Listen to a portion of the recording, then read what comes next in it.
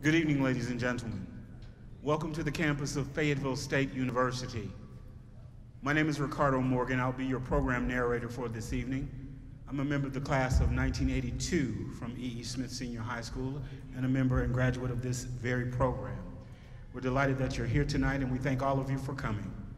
We do ask before we begin that you please refrain from taking any photographs or shooting any footage during this performance. It is a distraction to the performer. So we ask that you please silence and put away all cell phones at this time. We'd like to start this evening by saying again thank you to the administration at E.E. Smith Senior High School, our principal, Ms. Melody Chalmers. We'll have other thank yous throughout the duration of the program. We'll begin this evening the annual spring band concert, the E.E. Smith High School Band Ensembles performance performances. Again, Mr. Roosevelt Pratt Jr. is the director of bands.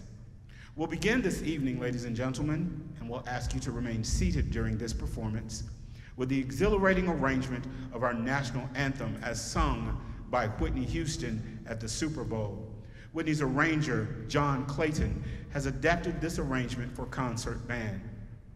The opening selection will be conducted by Mr. James Davis, is currently the director of bands at 71st High School. Mr. Davis worked alongside Mr. Pratt for three years as an assistant band director at E.E. Smith High School while serving as the band director of Lewis Chapel Middle School. He then accepted the position to lead the Marching Falcons, renaming them to the Triple S, the Southern Sound of Soul. Under his leadership, the Southern Sound of Soul earned North Carolina Show Style State Champions for 2014. Mr. Davis's future plans require him to now relocate to Raleigh, North Carolina, to focus on his other calling as a full-time pastor. He will be missed in this community and certainly by his students and Mr. Pratt.